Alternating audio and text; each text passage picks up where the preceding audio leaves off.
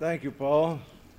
Mr. Vice President, Mr. Mayor, Reverend clergy, and ladies and gentlemen. Really, I'm overwhelmed, and I really am going to find a little difficulty in expressing myself. But in coming here this way, I couldn't help but think that when I started the parade, I saw the Martins Ferry Band, uh, who accompanied me in my segment of it, and with my family. They, I was happy to be able to participate in the caravan. I couldn't help but think that really I've come a long way, but I really haven't come too far geographically. And really, Canton, Ohio is somewhat in the center of my activity because having grown up in Martins Ferry and finished playing my athletic, my football career in Cleveland, Ohio, this is almost halfway and is really going to be a center of my activity for a long year, a lot of years to come.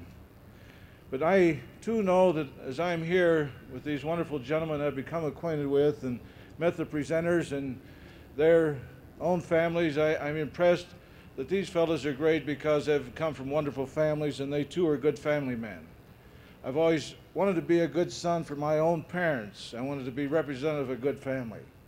And I'm pleased that my mother is here and my wife and my children. And really, this is my life. This is what it's all about. And the goals I've set in my life have always been in regards to what is best for them. However, in being recognized in this way, I know that I haven't accomplished this all by myself. I just did what I enjoyed doing, and people helped me. In high school, I can remember the fine high school coaches I had and the, players that I played with that inspired me. We always had winning teams there, and I can remember the first parade at Martins Ferry, Ohio, when I sat on top of a fire truck after we won a state basketball tournament. And we had a coach named Floyd Baker that really reminded me of a lot of Paul Brown. And some of the teachers there, I know Miss Knapp is here, and uh, Bill Van Horn was the local newspaper fellow, and he wrote us up, and a lot of great men, men I've met, men I've seen when I was a youngster, and now I'm here with these fellows. It's just tremendous. And also, uh, I can't help but think that in professional football, I had owners from Arthur McBride and Mr. Modell, and I was friendly with all of them.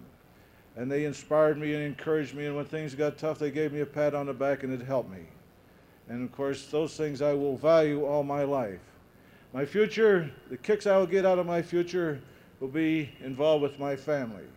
How happy I am that I have three I'm going to the same college. And if you don't think that doesn't keep your feet moving, uh, you got something else to think about.